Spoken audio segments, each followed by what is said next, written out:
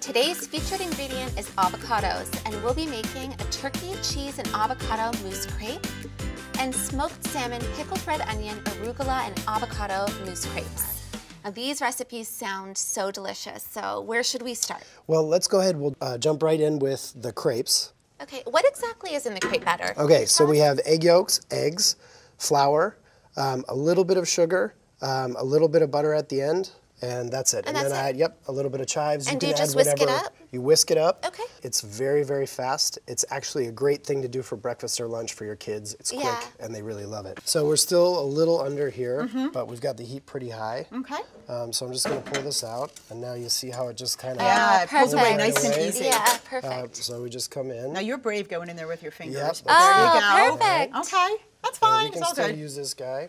Once you flip it, it's pretty much ready to go. Okay. So as that is setting up, I'm just going to come over and grab the avocados. Okay, and I like how you're cutting your avocado on the uh, cutting board, Yes. not in your hand. So, Um, so sometimes I much just better, tap. yeah. All right, and then we knock those guys off. Let's come in here, and This is the flipping. Oh, look at That that, one's one. perfect. Nice. yeah. And if you guys want to start and try one more here, would you like to pour it in? Oh, sure. Perfect. And now I gotta Yep, swirl it around. swirl it. All right, that was actually the perfect amount. Okay. So, what are some nutritional benefits of avocados? Well, avocados have some healthy fats in them, which are really nice. Um, the texture, I think, is one that kids, even young infants, um, will happily take because Okay. it has that nice sort of creamy, kind of texture. Um, exactly. It's like a you- dessert. You, can serve it plain. It also blends and mixes well with, I think Chef is going to show us how he's going to mix it into Good a in bit of smoothies too, if you're Yep. lactose intolerant, to add a little bit of creaminess. Yep.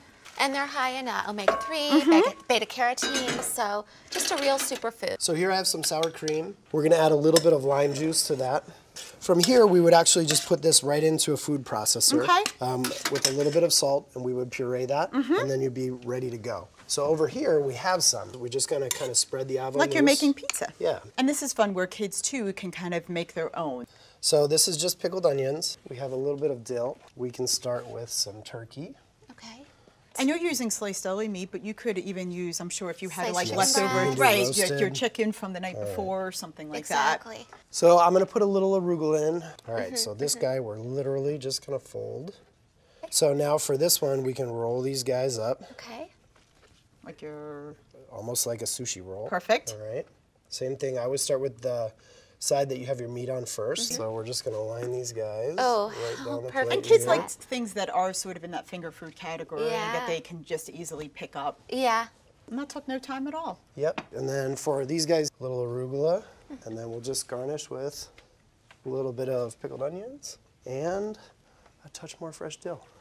I can't believe how easy this was, how simple this was, and I can't wait to try them. So let's start off with the turkey, Okay. the turkey crepe. And this is finger food, so Yeah. we're just going to So jump I'm right gonna, in. I'm gonna take this one. There's a lot of avocado.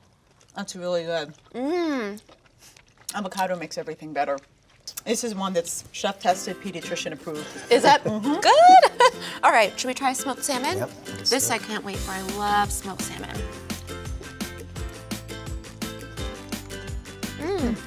Such a different flavor than the mm-hmm. first one. I was just gonna say that. Mm-hmm. So different, but we're using the same, the same base for both.